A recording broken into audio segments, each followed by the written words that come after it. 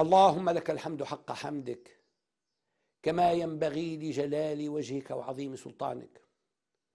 وأصلي وأسلم على صفوة خلقك الصادق الأمين وعلى إخوانه من النبيين والمرسلين وعلى صحابته والتابعين ومن تبعهم بإحسان إلى يوم الدين. اللهم يا كريم يا عظيم يا رحمن يا رحيم. هذه ليلة عز الأمة وهذه ليلة مجدها. في هذه الليلة يختلط ملأ السماء بملأ الأرض وتتحول الأرض إلى عاصمة الكون. تنزل الملائكة والروح فيها بإذن ربهم من كل أمر. هذه ليلة السلم وليلة السلام. سلام هي حتى مطلع الفجر.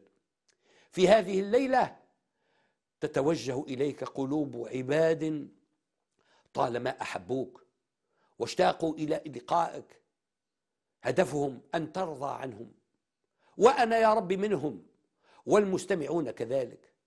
فأسألك اللهم يا من تكرمت وتفضلت وما وأعطيت وتكرمت على عبادك أن تجعل هذه الليلة ليلة الوصال بك والقرب منك وأن لا تجعل بين قلب التائه الضعيف وبين باب رحمتك حاجزا يمنعني من أن أرى آثار نعمتك على عبادك.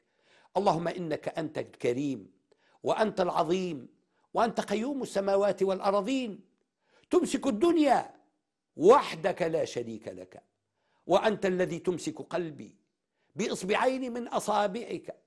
تقلب قلبي كيف تشاء. أنت الذي تمسك بسمعي وأنت الذي تمسك ببصري. لا أملك لنفسي شيئا. وجدت وليس باختياري وأنت اخترت أن توجدني. وأحييتني وقدرت لي ولا أعلم ما قدرت لي وأنت الذي تجتبيني لترجعني إليك في الوقت الذي تريد. فأنا منذ وجودي في جهل إلى أن ينتهي وجودي. علمك يغطي جهلي وفضلك يغطي خطئي. وأنت الذي تعلم ولا أعلم وأنت علام الغيوب. اللهم إن كان هذا العبد الفقير القائم بين يديك مذنبا عاصيا وأنا المذنب العاصي. فغطي عصيانه وذنبه بفضلك الواسع وخيرك العميم. واجعل هذه الليلة ليلة مجد لي. اللهم إني أرغب في أن أكون يوم القيامة إلى جانب محمد. وأرغب في أن أكون مع صحبه الكرام. ولكني أرى لي عملا لا يوصلني أن أرتقي إلى هذا المقام.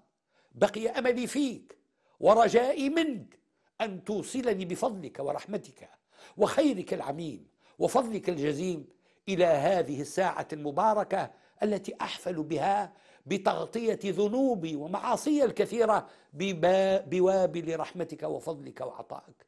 يا رب إني من أمة محمد وأن هذا النبي عاش لأجل دعوتك وأجل دينك. وكان واعيا بأن الجهد هو الذي يوصل إلى الرضا فبذل حياته لم يجمع مالا ولا دنيا ولم يرضى بسلطان ولم يرضى بأن يقهر الناس. وكان مثالا للرحمة أرسلته رحمة للعالمين. ووعدت الذين استجابوا إليه حاضرين معه أو ممن أتى بعده أن يكونوا إذا تمسكوا بنهجه في حالة من السلامة تجعلك تغطي ذنوبهم الكثيره فأسألك اللهم أن تكتب علي أني أشهد أن لا إله إلا أنت وأن محمدا عبدك ورسولك. واكتبني في هذه الساعة المباركة من الذين يبايعونك ويبايعون نبيك. واجعلني في هذه الساعة الطيعة من أهل الطاعة والاستقامة. واكتب لي يا رب حسن ختام في الدنيا. أغطي به في آخر عمري ما أخطأت فيه في سائر أيام حياتي.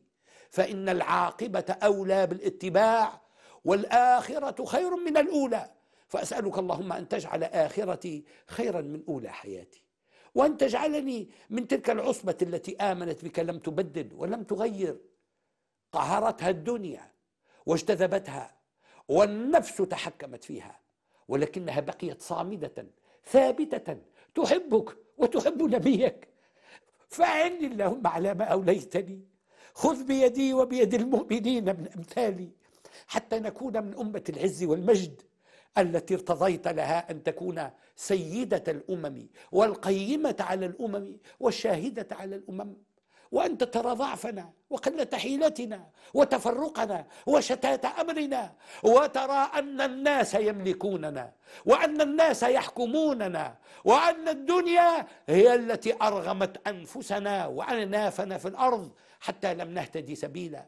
فأسألك اللهم كما تتكرم على قلوبنا برعايتها وهدايتها أن تتكرم على هذه الأمة بجمع كلمتها ورفع رايتها وأن تخلدها في كتاب العليين من الذين أنعمت عليهم من النبيين والصديقين والشهداء والصالحين والعلماء العاملين والدعاة في سبيلك يا رب العالمين. اللهم إني لا أفتى أتوجه إليك وأسألك من فضلك فلا تردني عن بابك.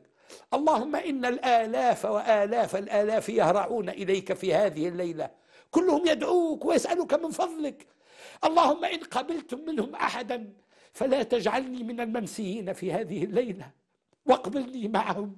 اللهم إني قليل العطاء قليل الأداء قليل الاستجابة ولكني كثير الرجاء. فأرجوك أن تغطي بفضلك ورحمتك هذا الضعف في لترفع يدي إليك وتجعلني في أعلى عليين وأن تجعلني من الذين أعتقتهم وأعتقت رقابهم في هذه الليلة المباركة. إنك على كل شيء قدير. سبحانك. لا أحصي ثناء عليك. أنت كما أثنيت على نفسك. عز جاهك. عظم كبرياؤك لا رب غيرك. لا خير إلا خيرك. بيدك الخير. إنك على كل شيء قدير. سبحان ربك رب العزة عما يصفون. وسلام على المرسلين والحمد لله رب العالمين.